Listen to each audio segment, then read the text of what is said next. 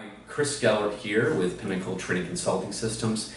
Today we're going to talk about, before in, in this which reviews Unit 1, the foundation of the spine. When I get into the spine, which is connective tissue, uh, the joints, the bones, and, and how things really move. So this clarifies as you're watching at home with this first unit the important information, but should make sense seeing it visually and clarifying to understand it so we can apply it with your clients. So when we talk about the spine, we're talking about cervical is the upper neck, thoracic is the middle, lower lumbar is of course down here or down above the tailbone.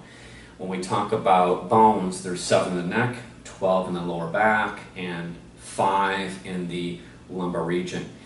On the back side, you can see each bone has a spinous process, a little navigae. It gets larger as it goes down, and then the sides is called the transverse process, or kind of the wing. Um, between those are called facets. Facets are a little bit of a groove.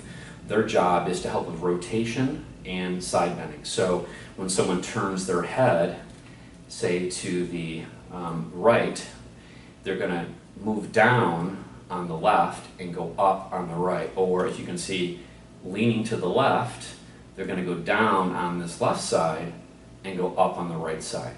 And they basically facilitate motion. In the thoracic region, they're at a 60 degree angle here, and in the lumbar, they're in a roughly 90 degree angle. So they go from 45 to 60 to 90 degrees accordingly.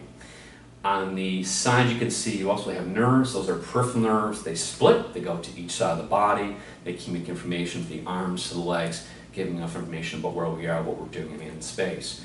When we look at the lower part of the body, we have connective tissue. And what is connective tissue? Connective tissue is made up of fascia, ligaments, tendons, muscles, and really a whole smorgasbord of uh, things, including muscles that facilitate movement. So muscles on the top of the neck, all the way to the lower back. Fascia is on the lower part of the back called the thoracolumbar fascia. And basically fascia is going to be um, made up of, of, of proteoglycans and water that facilitates movement. And if it's restricted or tight, that can affect movement patterns that can cause trigger points and refer pain. Muscles in the neck we have up here, you have the rhomboids in the middle back, you have your upper trapezius from octave C7, T1 and T5 is going to be the middle, um, uh, middle trapezius, and then T6, T12 is going to be your low trap. Lats come around on the side, T6, T12, and then you've got your rotator cuff, which we'll talk about in a minute. The other thing I want to talk about is osteokinematic motion versus arthrokinematic motion. So osteo means the bones and how they move between one another. So osteo means the moves the between one bone on another. Comparison to arthrokinematic motion, when we look at the shoulder here, so if we look at someone raising the shoulder or side raising, the humerus goes up, but the supraspinatus, which goes from the supraspinous fossa to the greater tubercle, abducts the shoulder. So that's the movement between the muscle in the joint, or we call the articular surface. So that's a little different between uh, the difference between osteokinematic and arthrokinematic motion.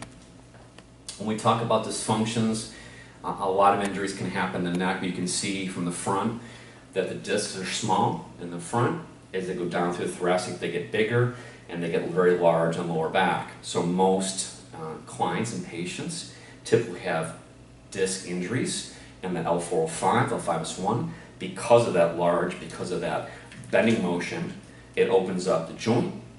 It puts stress on the disc. It puts stress on the uh, vertebra or the, the, also the nerve roots in comparison to the upper neck area. So that's the main reason why more disc injuries occur in the lower back versus the neck.